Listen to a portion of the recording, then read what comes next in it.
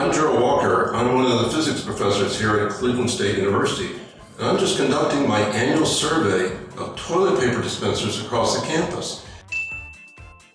Some people like to pull the toilet paper from the top. Some people like to pull it from the bottom. Does it make any difference? Usually it doesn't. If you can pull off all that you really need, you're good to go. But if you pull and you get a single sheet, what are you going to do with that?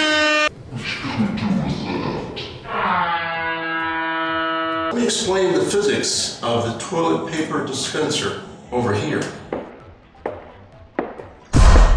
The problem is up here on top where the cardboard tube meets the spindle. There can be friction there. And if there's a fresh roll with a lot of weight bearing down, and if you pull down like this, you're going to rip the paper right away. You're not going to get very much. It's going to be disappointing.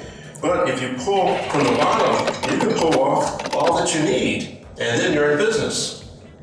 Thanks for watching. See you next time on the Flying Circus of Physics. Just remember, physics is everywhere, especially in the men's room.